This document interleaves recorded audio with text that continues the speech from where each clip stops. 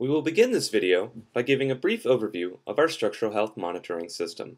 Following this, we will present a demonstration of our system being used. Here we can see the basic system layout of our structural health monitoring and damage mitigation system. Our system functions using the impedance method. The system begins by generating an excitation waveform. This waveform is then amplified and applied to a PZT patch, which is attached to the structure under test. This signal causes the PZT patch to vibrate, which causes oscillations in the structure under test. Once the structure has been excited, the PZT is no longer driven and instead is used to receive the response signal.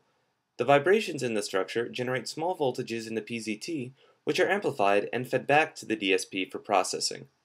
By establishing a baseline run when the system is healthy, it is possible to compare the received waveform to what is considered to be a healthy waveform.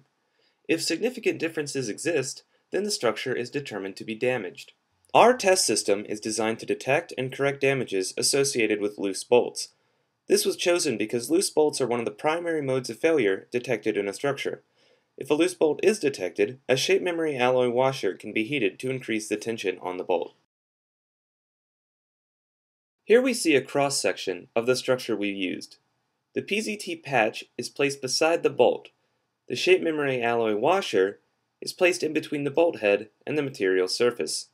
When a loose bolt is detected, this SMA washer is heated. By heating the SMA washer, we cause it to expand. The expanding SMA washer effectively tightens the bolt by increasing the amount of pressure it exerts on the structure. This is the circuit that we use to control the heating of the SMA washer. When the DSP detects damage in the system, it turns on one of the general purpose I.O. pins that are on the chip. This signal is then buffered by an op-amp and fed to a relay. When the relay is on, it connects a heating element to a lithium-ion battery that is also part of the system. Here we can see an overview of the actual test structure we used in our experiment. You can clearly see the structure under test, the DSP, and the power driving circuit for the heating element. Also note the PZT patch which is attached to this test structure. Now we will present a demonstration showing the system in use.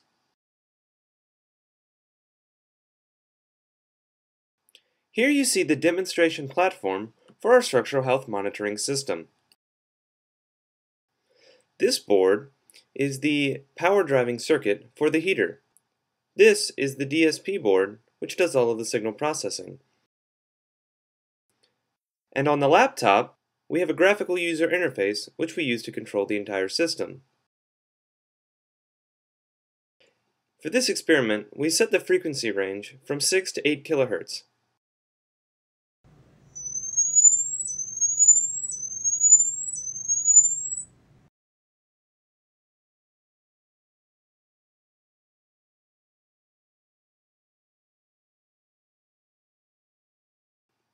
Now if you look at this graph, it shows the baseline data that was captured from the previous run.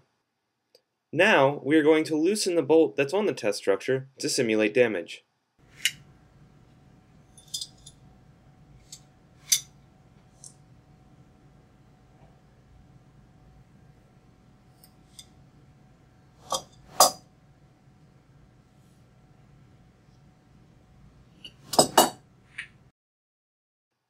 Now when we test the structure again,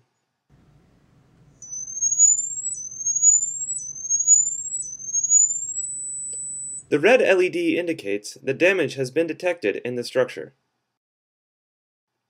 When you compare the signatures of the last two runs, you can see that there is significant difference between them.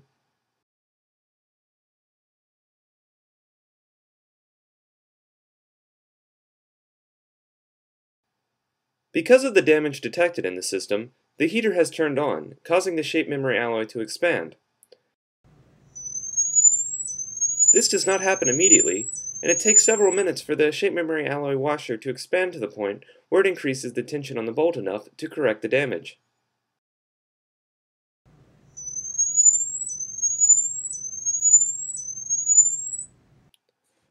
We will now wait for the system to repair the damage.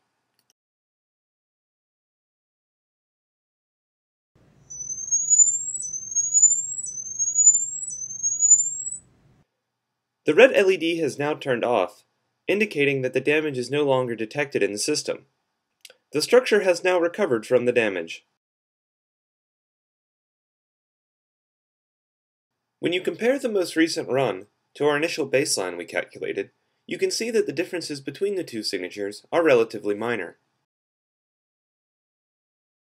As a reference, here we can see the first run we did after loosening the bolt. As you can see, the differences between the baseline in this case are much more pronounced. By heating the SMA washer, we were able to approximate the state the system was in before the bolt was loosened.